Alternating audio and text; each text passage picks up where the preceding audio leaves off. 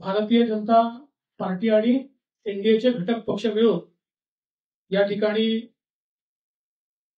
सरकार हे तयार होत आहे. महाराष्ट्रामध्ये आम्हाला अपेक्षित यश मिळालेलं नाही. किंबहुना आमच्या अपेक्षेपेक्षा खूप कमी जागा या महाराष्ट्रामध्ये आम्हाला मिळालेल्या आहेत. या निवडणुकीचं नेतृत्व हे एक प्रकारे भारतीय जनता पक्षामध्ये मी करत होतो. त्यामुळे या ठिकाणी जो काही पराभव झाला असेल ज्या काही जागा कमी आल्या असतील याची सगळी जबाबदारी ही माझी आहे. ती मी स्वीकारतो. आपल्याला कल्पना आहे की कालच भारताच्या लोकसभेच्या निवडणुकांचे आणि काही विधानसभेच्या निवडणुकांचे निकाल आले. पहिल्यांदा तर मी देशभरातल्या भाजपच्या आणि एनडीएच्या कार्यकर्त्यांचं आणि देशाच्या जनतेचे आभार मानतो की पंडित नेहरूंनंतर पुन्हा एकदा तिसऱ्यांदा देशाचे पंतप्रधान बनण्याचा आशीर्वाद हा माननीय मोदीजींना जनतेने दिला कार्यकर्त्यांच्या प्रयत्नामुळे आणि जनतेच्या आशीर्वादामुळे तो मिळाला. आणि भारतामध्ये एनडीएचं सरकार येत आहे आणि बासष्ट नंतर पहिल्यांदा असं घडत आहे त्यामुळे हा एक अतिशय ऐतिहासिक अशा प्रकारचा क्षण आहे. त्याबद्दल जनतेचे मी आभार मानतो. त्याचवेळी ओरिसामध्ये पहिल्यांदा भारतीय जनता पक्षाच्या नेतृत्वातलं सरकार तयार होणार आहे. आंध्र प्रदेशमध्ये देखील चंद्राबाबूंच्या नेतृत्वात एनडीएच्या सरकारला लोकांनी पसंती दिली. अरुणाचलमध्ये तर भाजपचं सरकार पुन्हा निवडूनच आलं. त्यामुळे विधानसभेच्या निवडणुकीतही जनतेने एनडीएला आणि भारतीय जनता पक्षाला मोठा कौल दिला. याबद्दल देखील मी जनतेचे आभार मानतो. हे सगळं होत असताना एक गोष्ट अजून लक्षात घेतली पाहिजे.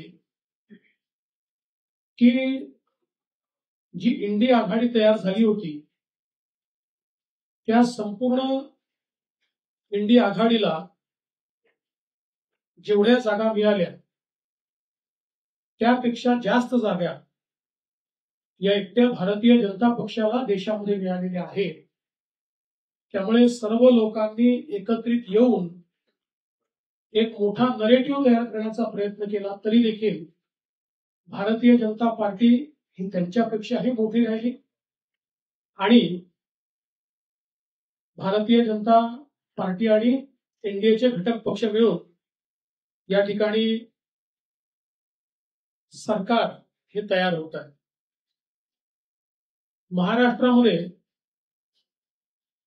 आम्हाला अपेक्षित यश मिळालेलं नाही. किंबहुना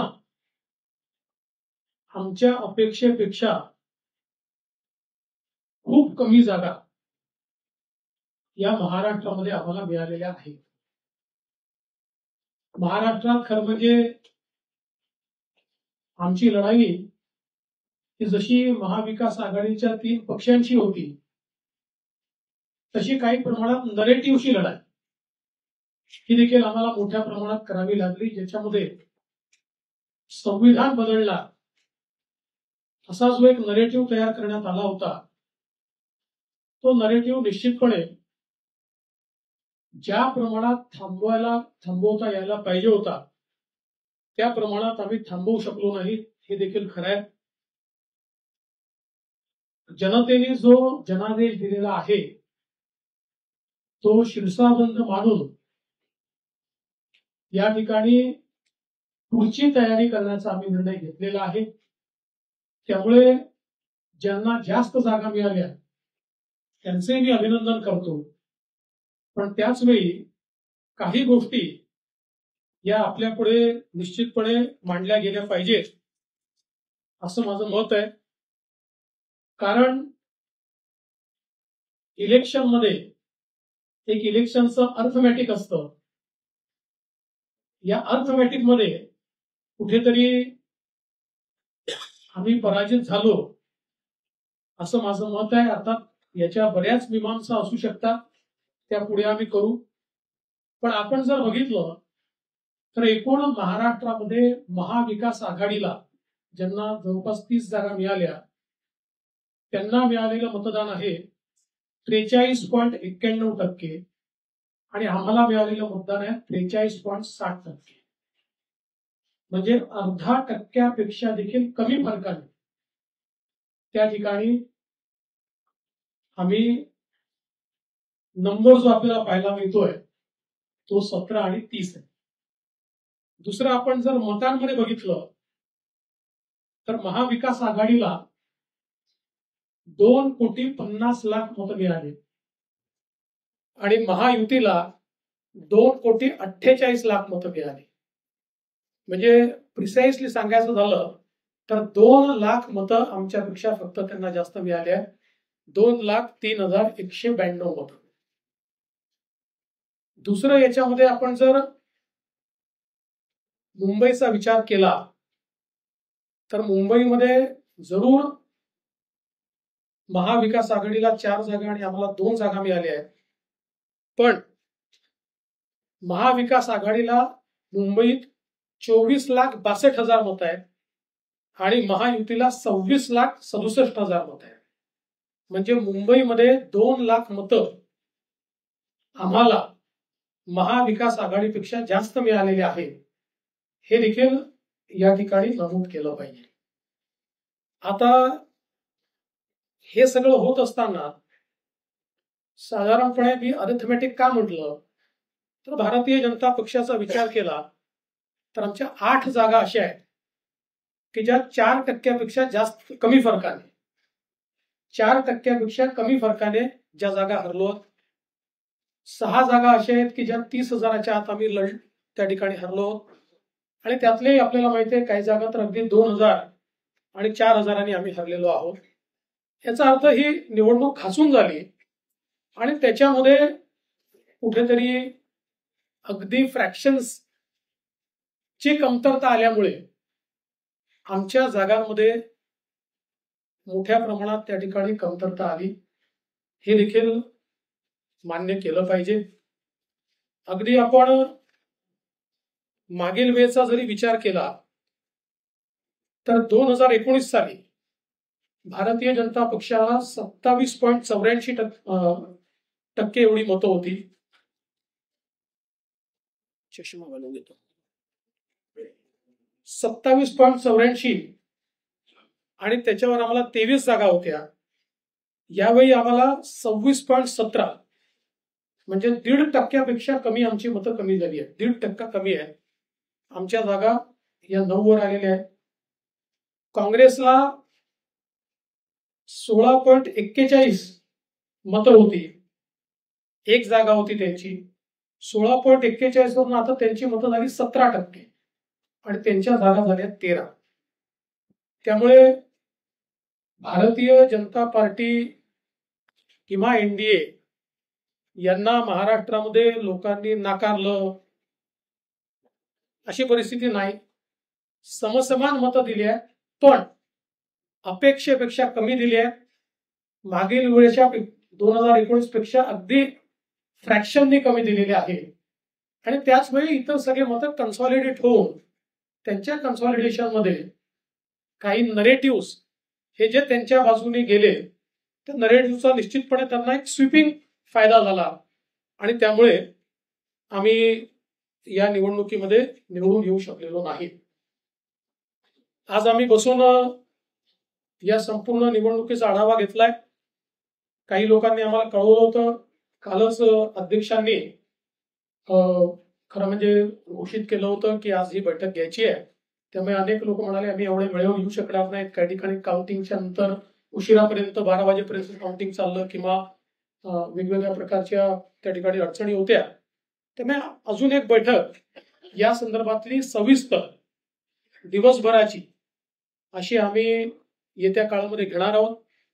कोणते मुद्दे प्रामुख्याने होते त्याचा आम्ही ज्यावेळेस विचार केला तर काही मुद्दे काय महाराष्ट्र आम्हाला लक्षात आले.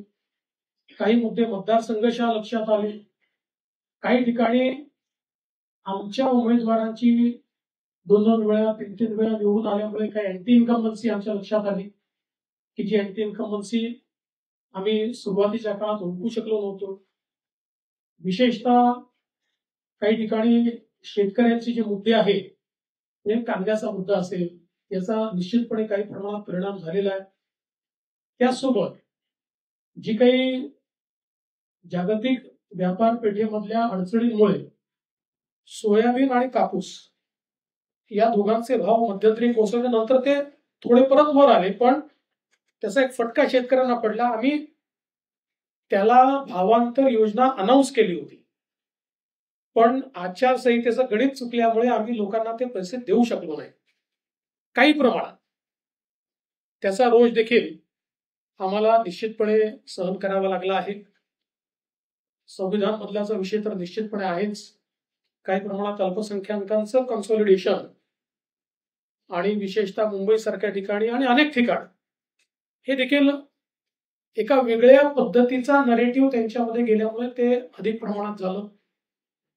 काही भागामध्ये मराठा आरक्षणाच्या मुद्द्यावर ज्या प्रकारे सरकारने आरक्षण दिल्यानंतर देखील त्या ठिकाणी एक नरेटिव्ह तयार करण्यात आला. तो मला असं वाटतं की आम्ही इफेक्टिव्हली उत्तर देऊ शकलो नाही. आणि त्याच्यामुळे त्याचा देखील एक फटका हा निश्चितपणे आम्हाला पडला आणि विशेषतः मराठवाड्यामध्ये. हा फटका आम्हाला त्या ठिकाणी निश्चितपणे पडला. पण त्याहीपेक्षा मला असं वाटतं की मराठवाड्यामध्ये म्हणजे त्याच्या सोबतच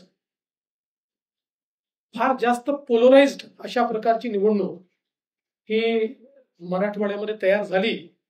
आणि त्याच्यामुळे त्याच्याही काही अडचणी या आमच्या लक्षात आलेल्या आहेत. त्याची काय सुधारणा केली पाहिजे ती निश्चितपणे आम्ही करू. आणि इफेक्टिव्हली जे काही काम आपण केलेलं आहे त्या संदर्भात लोकांपर्यंत पोहोचवण्याचा प्रयत्न आम्ही करू.